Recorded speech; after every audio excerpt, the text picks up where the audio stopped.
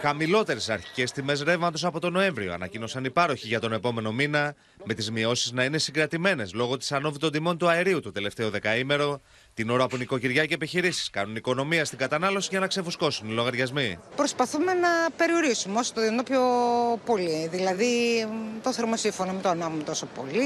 Τα αρχικά τιμολόγια ρεύματος από 350 έως 470 ευρώ τη Μεγαβατόρα το Νοέμβριο διαμορφώνονται για το Δεκέμβριο σε 280 με 380 ευρώ τη Μεγαβατόρα. Οι τελικές τιμές θα διαμορφωθούν μετά τις ανακοινώσεις για τις επιδοτήσεις Δεκεμβρίου, οι οποίες θα είναι και πάλι κλιμακωτές και θα αυξάνονται όσο μειώνεται η κατανάλωση. Στο ηλεκτρικό ρεύμα κάνω οικονομία. Τώρα ήρθε κανονικό. Η κρατική επιδότηση αναμένεται να διαμορφωθεί λίγο επάνω από τα 200 ευρώ τη Μεγαβατόρα, με στόχο να πέφτει ξανά η τελική τιμή στα 15 με 17 λεπτά την κιλοβατόρα για την πρώτη κλίμακα κατανάλωσης. Πριν από κάποιους μήνες εγείρετο πρώτο ζήτημα προβληματισμού την ενέργεια στο σπίτι.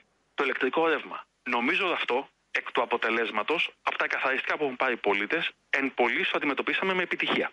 Χωρίς να σημαίνει ότι υπάρχει μηδενική επιβάρυνση.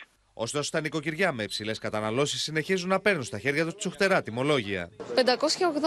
Προσπαθούμε να το πληρώσουμε σιγά σιγά. Το φτάνουμε μέχρι τελευταία προθεσμία. Η θέρμανση είναι που καίει τον κόσμο περισσότερο. Στο μεταξύ, οι τιμές του πετρελαίου θέρμανση ξεφουσκώνουν, ακολουθώντας την αποκλιμάκωση στις διεθνείς τιμές του πετρελαίου, που σημειώνουν πτώση 12% σε σχέση με 10 μέρες πριν. Την ίδια ώρα η Ευρώπη σπέβδει να γεμίσει τις δεξαμενές της με ρωσικό ντίζελ πριν από την έναρξη του εμπάργκο, με τις εισαγωγές από τη Ρωσία να έχουν αυξηθεί κατά 126% τον Νοέμβριο σε σχέση με τον προηγούμενο μήνα.